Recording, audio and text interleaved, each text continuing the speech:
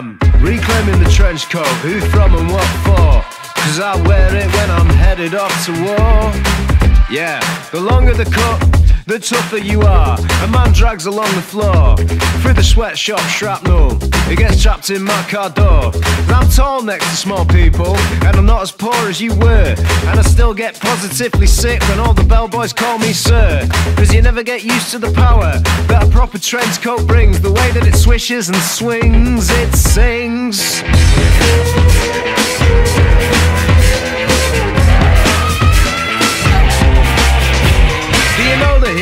Trench coat, what it represents and who it's for? What I want to know is who would want a coat so close to the floor. I went to the trench coat museum to see him.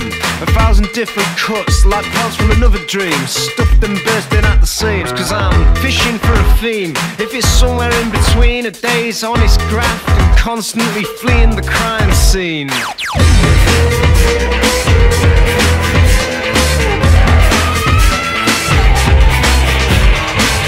Coat got banned for a bit. Does that conjure up any weird feelings? Knowing all kinds of twisted minds can find it a prime coat within which to conceal things. You can't ban a coat, can you?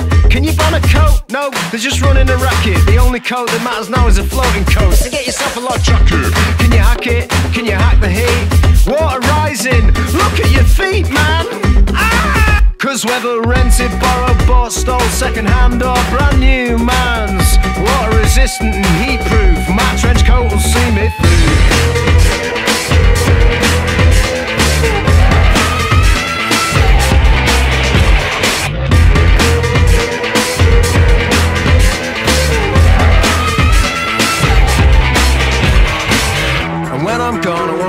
trench coats framed And my knackered boots and dirty glasses Tastefully arranged on the plinths in between. Cause when they get to the final exhibition That celebrates my good name I want you to be on display too Cause all that really remains of me is you